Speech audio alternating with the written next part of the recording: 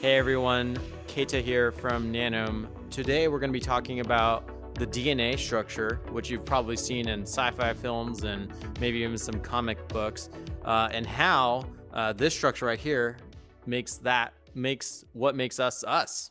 Um, and so you've probably seen this kind of double helix structure. Um, maybe some of you have even learned about uh, base pairs, uh, which are these kind of complicated letters uh, and, and words over here, which we won't go over today. But basically, all you need to know is that ATGC or CG, and uh, you know the A only goes with T, uh, and G only goes with C, and so you can see those colors that correspond to that.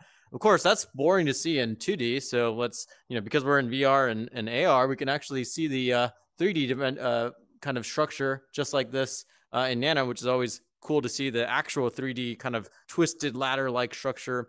But you know, when you go down to the nanoscale or the molecular level, you're not actually going to see these, you know, nice little ladder-like structures. Um, and in fact, what you actually see um, if you go down to the molecular level um, is these atoms. So let me just show that again real quick.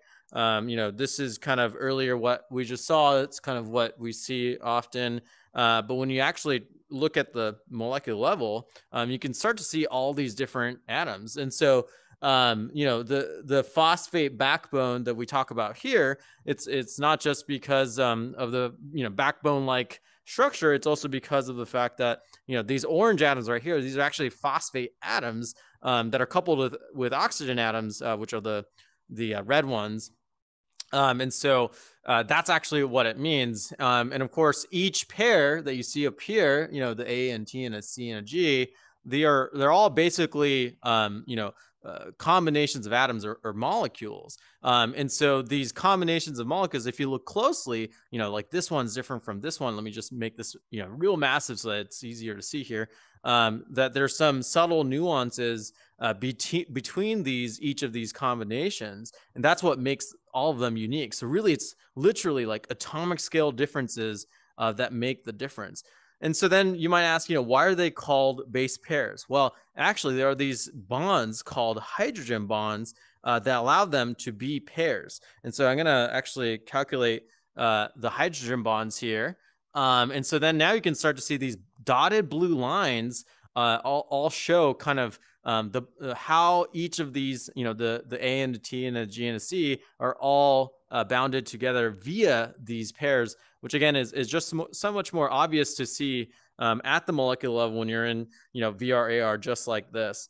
Um, and in fact, what's even cooler is that you can actually take them apart and see those bonds um, uh, kind of uh, forming or, or deforming. And so um, what I'm going to do here uh, is just take uh, one of them and I'm gonna move them. So you can see here the hydrogen bonds.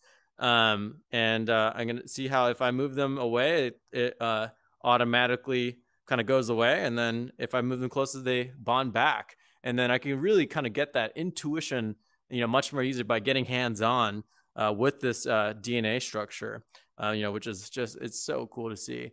Um, and in fact, in Nanome, uh, it's not just the fact that you can get down to this molecular level and get hands on.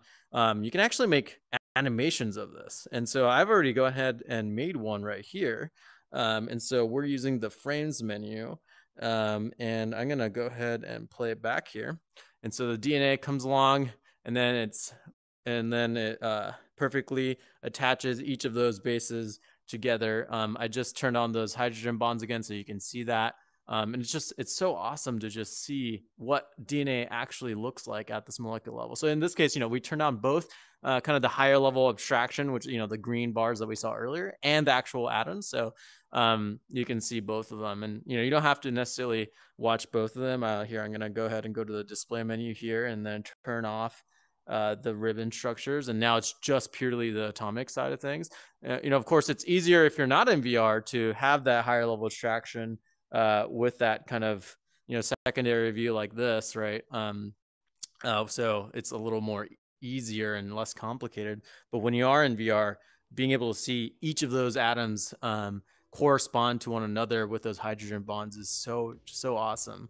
And uh, in fact, you know, this is what makes us us, right? These DNA uh, is what encodes RNA, and of course, RNA uh, encodes proteins, uh, and the proteins are what makes up cells, and cells are what makes up um, you know, the tissues and your organs. And of course, organs is what makes us us, right? Whether it's the heart or the brain or or all those types of awesome, amazing things that your body has to offer. So uh, that's a, a, very quick kind of uh, spatial recording we have on DNA.